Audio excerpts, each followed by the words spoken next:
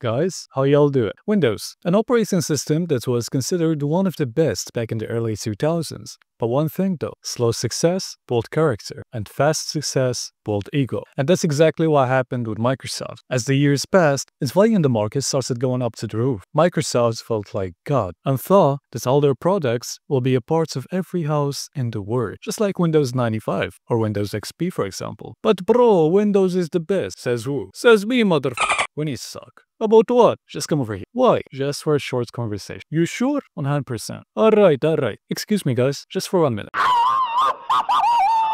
Alright, I'm back. In 2015, the legendary Windows 10 was released, and that's when people started noticing stuff. A lot of Windows users back then didn't really care, but on the other side, there was a lot of people that saw that those extra thingies in the settings weren't there for no reason, and the ads showing up in your source menu weren't just any random ads, but based on what you like and what you don't like. Here where the puzzle started solving itself. Personalized ads, too many privacy options that doesn't make sense, Windows 10 feeling slow, there must be something. And yes, there was something. Windows telemetry, the big boss of this game, refers to the system ability to collect and transmit diagnostic and usage data to Microsoft. Bullshit, alright? Bullshit. It collects data to get sold later on. Change my mind. But hey, that's not only my opinion, but it's the reality. Microsoft started collecting data since Windows XP, or maybe even Windows 95 or 98. But back then, it wasn't noticeable enough for the regular user of Windows XP, for example. But 25 years later, it's clear, bro. Like Microsoft, you think we're blind? Now let's talk about how bad is Windows telemetry. Starting with your resources. Windows telemetry, or what I call the spy, constantly uses your RAM and CPU in order to keep an eye on your data and of course, collect it. To the point where it can use up to 90% of your CPU. Are you